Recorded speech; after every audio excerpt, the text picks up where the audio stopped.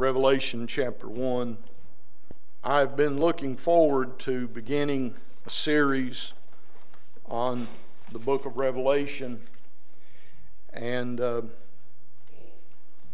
put in a lot of time and want to make sure that uh, what I teach is true. And this is not the first time I've taught. This is about the uh, seventh or eighth time that I've taught through the book of Revelation, verse by verse, chapter by chapter. And uh, it's a great book. It blesses your heart, but it's one that most people look at as a mystery. They uh, read the different shadows and types and pictures, and immediately they just say, I can't understand it. I talked with several people about it over the last couple weeks. I asked people, Have you ever really studied the book of Revelation? And uh, I don't think one single person said that I feel comfortable with the book of Revelation. Now, I want, I want to say that uh, I'm not saying this in arrogance. I'm saying it in humility. Uh, but the blessings that come from studying this book are immense. And when you find the truth, the truth will set you free. For a long time, I struggled with what this book taught. When I was about 22 years old, I started pastoring, and right out of the gate, the church wanted me to teach the book of Revelation. I'd had it in college. You know, I'd had teachers uh, to teach me about it, and I'd read all kinds of books. So I got me a chart. I ordered a chart, and it was a Scofield chart.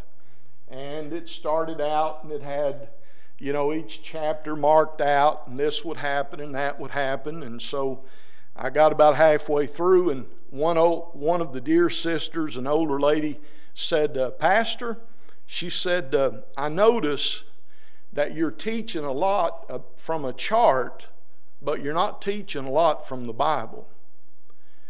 And it was just like somebody stuck a knife in my heart. And I thought, you know, she's exactly right. I'm allowing a chart to tell me what I believe rather than the Bible. So I from that moment on, I began to just study the Bible. And uh, a lot of people don't agree on the book of Revelation, there's a lot of disagreements about it.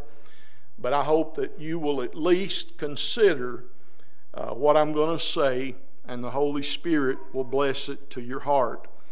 Now, the first thing we want to talk about, the Revelation, uh, you, your Bible might call it the Apocalypse. Uh, the word apocalypse is the actual Greek word for revelation, and it means the unveiling. Unveiling.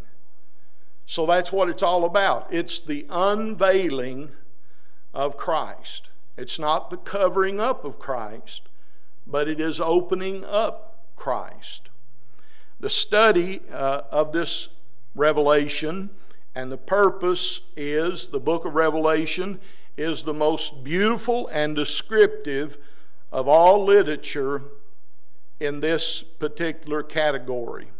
Where else do you find the Son of Man walking in the midst of the golden candlesticks in Revelation 1 12 through 20, and then wearing a white robe dipped in blood and riding a white horse? In heaven with the saints following behind him in Revelation 19 11 through 16. We see the doom of Babylon and the joy of Jerusalem. There is great comfort and joy as we look into the future with the love of God and His wrath rolled into one. Now, the main purpose of the book, as we mentioned, was in uncovering Christ, was to comfort the churches facing punishment from the opposition of the great dragon or Satan and God sees their tears and their sufferings. Um, when you study this book, remember that it was written in the first century. We'll talk about the date here in a few moments, but it was written in the latter part of the first century, and it was written to the saints who were being persecuted, they were being threatened with death. There were even Christians being put to death when this was being written. John had been exiled to the island of Patmos, and there he wrote the Revelation.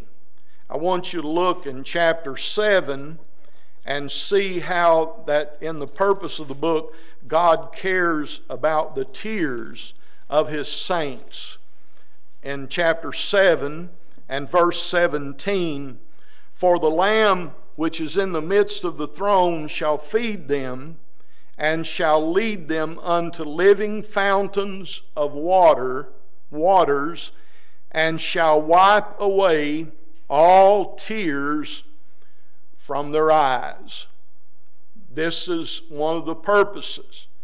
They were living in a time when to be a Christian meant that you were an outcast of society. Remember that all of the apostles, other than John, died violent deaths. You were hated, you were hunted down.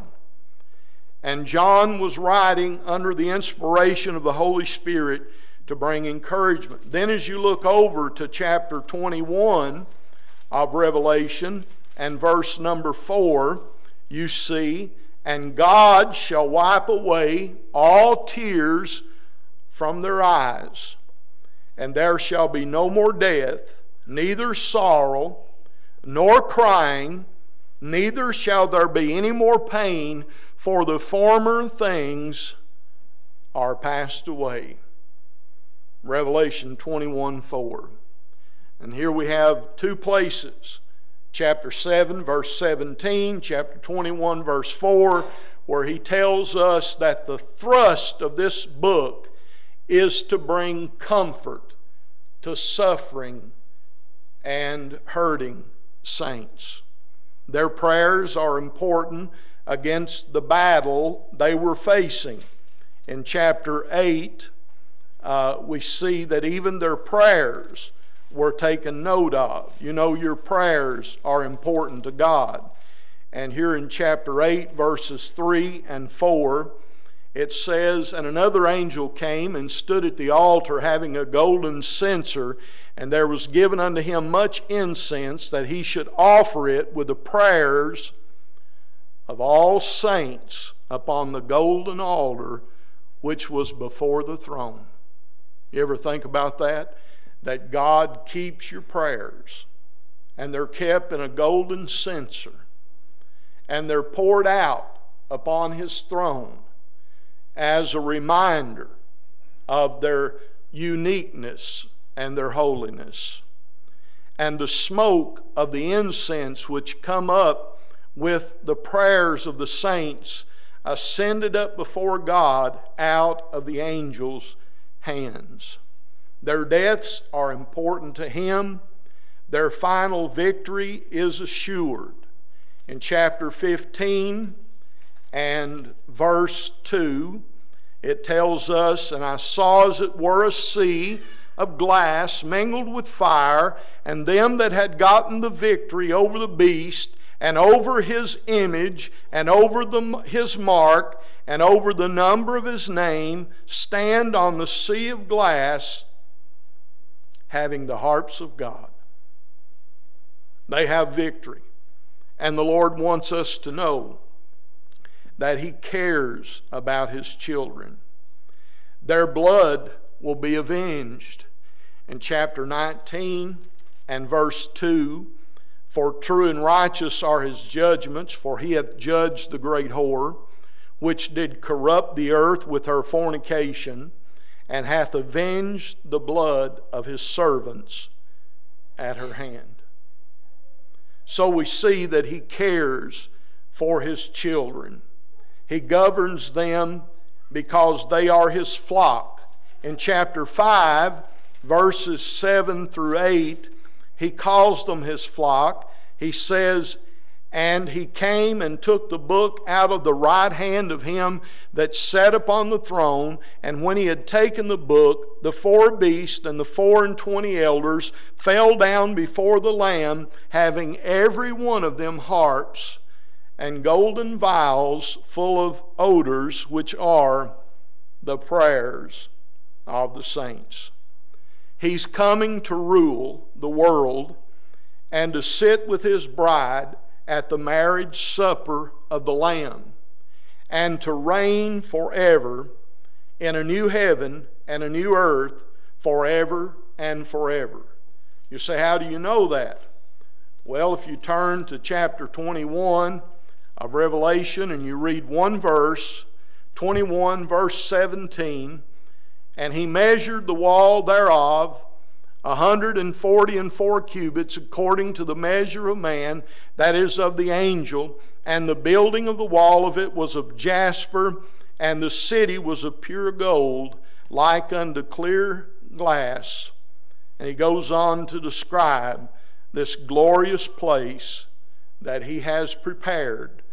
The Bible says he's gone to prepare a place for us, and that when that place is finished, He's going to come and receive us unto Himself, that where He is, there we may be also. We also see that He is present with us, walking in the midst of the golden candlesticks. Now, for those of you who may not be familiar with Revelation, the first three chapters deal with what's called the seven churches of Asia Minor. These were churches that started in the first century.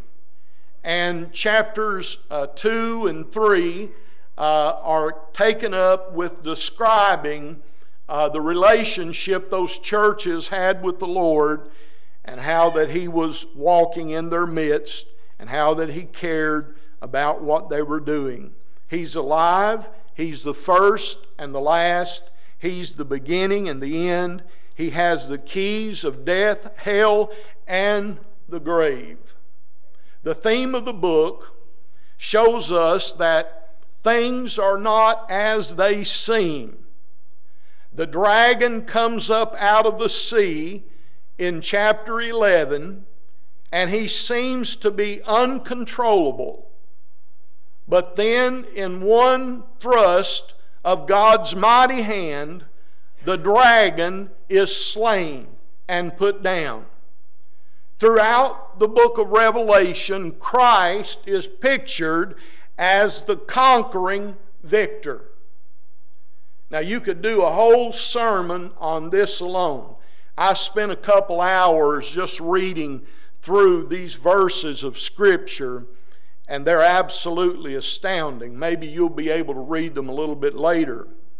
In chapter 1, verse 18, chapter 2, verse 8, chapter 5, verse 9, chapter 6, verse 2, chapter 11, verse 15, chapter 12, 9 through 14. Um, on and on it goes. Chapter 19, verse 6 through 20. 22, uh, verse 3. All of these verses show that Christ is victorious. Somebody said, I have read the end of the book and I know who wins. We know that Christ, our Lord, is victorious and that one day Christ will overcome all enemies and he will reign as King of Kings and Lord of Lords. Down through the years, I've read most every commentary on the Revelation, and I have been acquainted with most every man that uh, I can think of who write, has written down his ideas about Revelation. Uh, one of the things that I made a quest to do after I got saved was to study the book of Revelation and not just read it, but study it and digest it. And when the church at East Corbin Baptist asked me to preach, I asked them for one year to study before I preached my first sermon. And so I spent the, the most of that year reading every book, reading the Revelation, digesting all the information. And I'm sorry to say that at the end of that year and after preaching through it the first time, I was more confused than I was when I started. I've had a lot of people say that uh, it's very confusing. And even people that have been Christians for a long time, they'll study this book and they'll say, I just don't get it. Now, if we're going to get it, we're going to have to apply ourselves. We're going to have to read, we're going to have to study, we're going to have to pray. If you want God to open our hearts so that we can receive, we must seek Him with all of our heart. Down through the years, I've read these commentaries.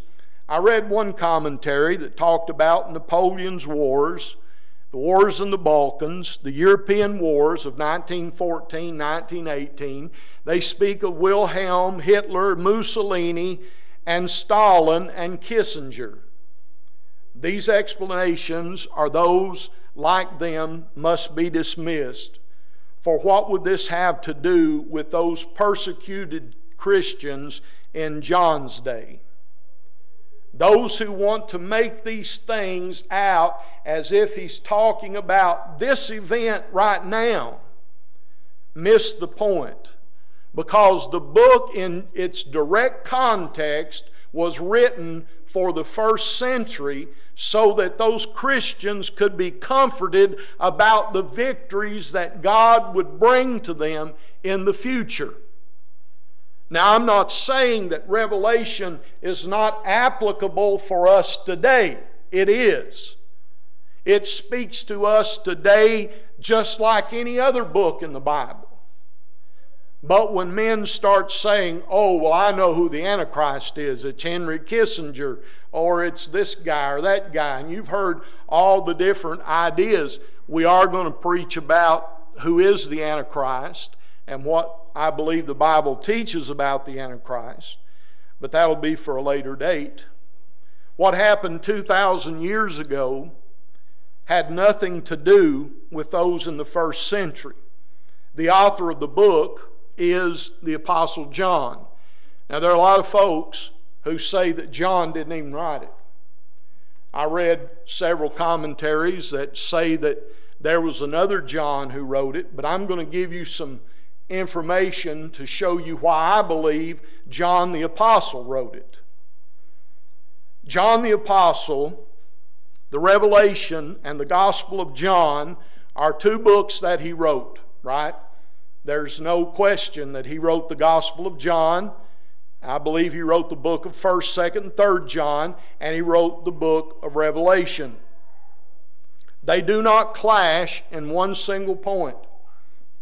You read the Gospel of John, you read the Revelation, they do not clash. In theology, in any of their facts, they match perfectly. They both call Jesus the Lamb of God. Remember what John said in John 1 29? He saw Jesus and he said, Behold, the Lamb of God, which taketh away the sin of the world. And as we're going to see here in just a little bit, do you know how many times the revelation calls Jesus the Lamb of God? 29 times. 29 times he is seen as the Lamb who comes and takes the scroll, and he is the only one worthy because he is as a lamb that was slain. And he takes the book, he takes the scroll and opens it, and they cry out, Holy, holy, holy, Lord God Almighty omnipotent, reigneth. They call Jesus the Lamb of God. The epistle and the revelation called Jesus the Logos or the Logos. John chapter 1 and Revelation 19 13 call him the Logos. I don't think that's an accident. I believe John wrote the Revelation. The Gospel and Revelation are pictures of Christ as the pre existent Redeemer. Both speak of salvation through the blood of the Lamb, and whosoever will is taught. In John 3:36, John points out that salvation is open to whosoever will, let him come. And we see this in Revelation 7 9 and Revelation 22 17. Let the bride says, Come, let him that is athirst come, and whosoever will, let him come and take of the water of life. The early churches ascribed it to John. Now, let me just add this Justin Martyr, who lived around 140 AD, he said, John the Apostle wrote the Revelation. Irenaeus, in 180 AD, said, John wrote the Revelation. Who was a disciple of John's disciple, Irenaeus was a disciple of Polycarp, and he said John wrote it. Clement of Alexandria, who lived around 200 AD, said he wrote it. Tertullian in 220 said he wrote it. Origen said in 223 AD that he wrote it. And Hippolytus in 240 AD said John wrote it. The evidence is overwhelming. So I'm not going to spend any more time trying to beat that horse. I think you see what I believe and the evidence for it. Also, there is evidence that points to John because he was banished to the Isle of Patmos. And if you'll look with me in Revelation 1 and verse 9, I think this is the clincher. I, John, who also am your brother and companion in tribulation, and in the kingdom and patience of Jesus Christ was in the isle that is called Patmos for the Word of God and for the testimony of Jesus Christ. Domitian was the ruler at that time, and under Domitian's reign, he had John exiled to the Isle of Patmos where he wrote the beautiful book. But the real author is God Almighty. John was just a human instrument because God Almighty inspired this great book. Because chapter 1, verse 1 says, The revelation of Jesus Christ, which God gave unto him to show unto his servants things which must shortly come to pass, and he sent and signified it. If you underline in your Bible, and I would recommend you underline in your Bible and circle in your Bible, there's nothing unholy about writing in your Bible. In fact, it helps you. The word signified is an important word in understanding the revelation. He sent and signified it. In other words, Jesus Christ is going to give us the message through signs and symbols. Right off, he starts out with the seven golden candlesticks. You'll say, well, what's that? Well, if you remember, in the temple and the tabernacle, they had the menorah, which was a beautiful lampstand, and it had uh, these places where they could put the candles and they would light them, and there were seven candles, and that represented the seven churches of Asia Minor. That's a type, it's a shadow. You see that? So, right off, he says that he's walking in the midst of his churches, that he loves them, and he's going to be with them until the very end.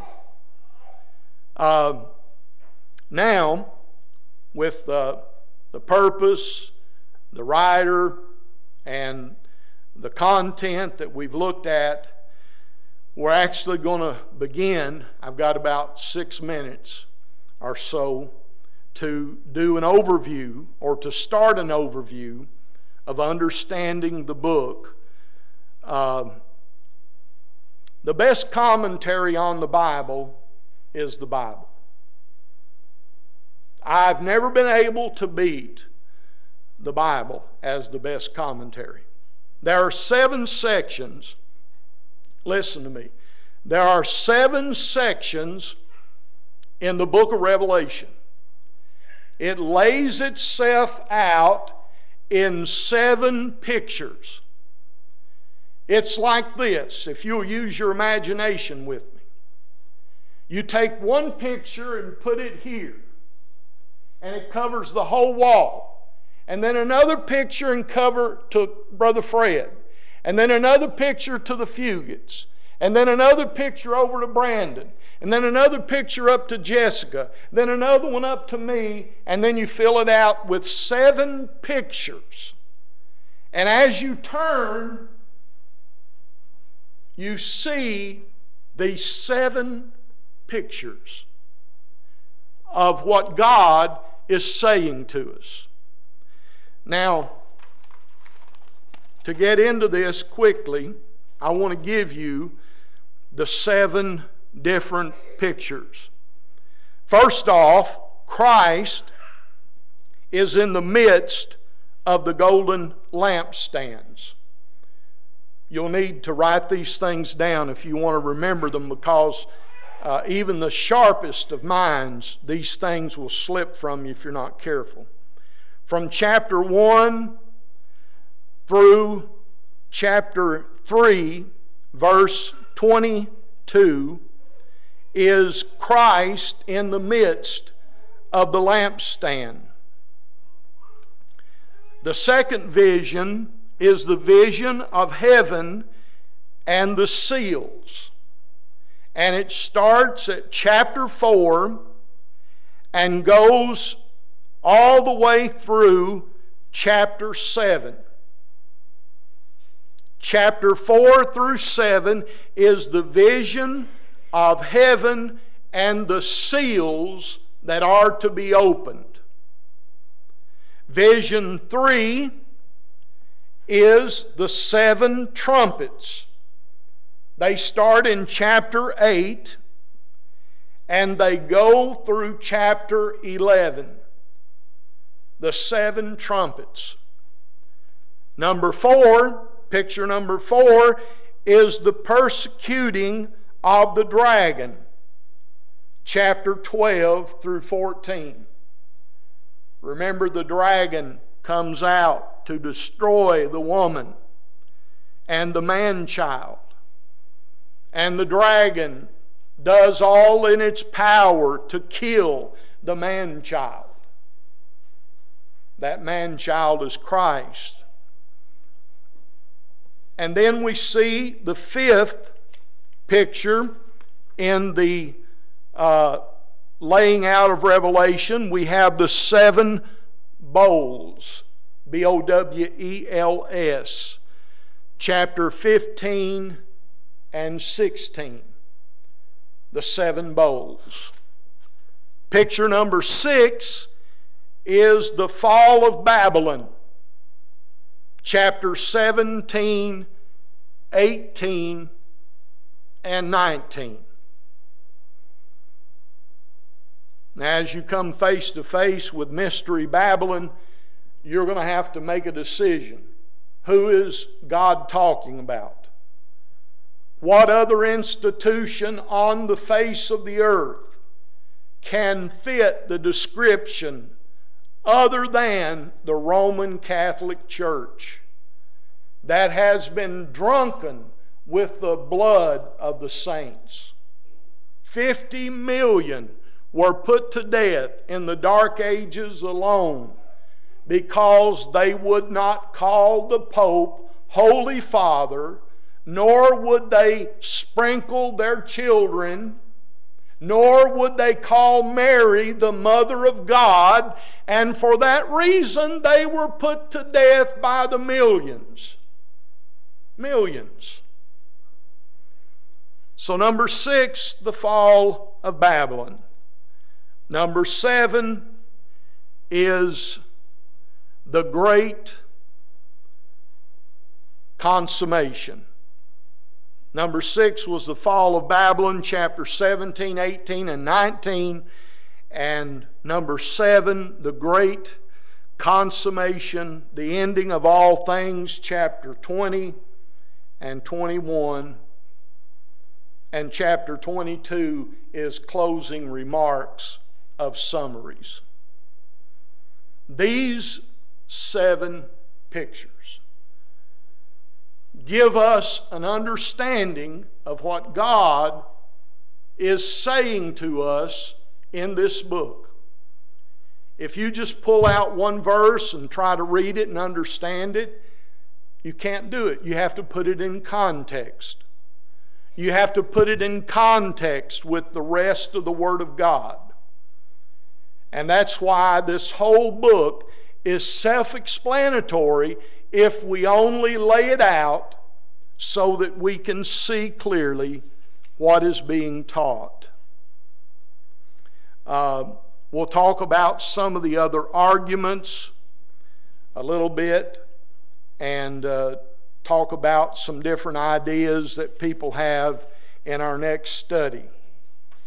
But we've laid the groundwork for the introduction of the book, the purpose of the book, the divisions of the book, and then next time we're going to delve into each different division. And so there will be seven sermons on these seven different uh, cycles or divisions as we see the Lord speaking to his people. The whole book is to show that Jesus Christ died, was buried, and raised from the dead to save us from our sins. And that we do not have to be afraid of what men may do to us. We have the victory in our Lord Jesus Christ.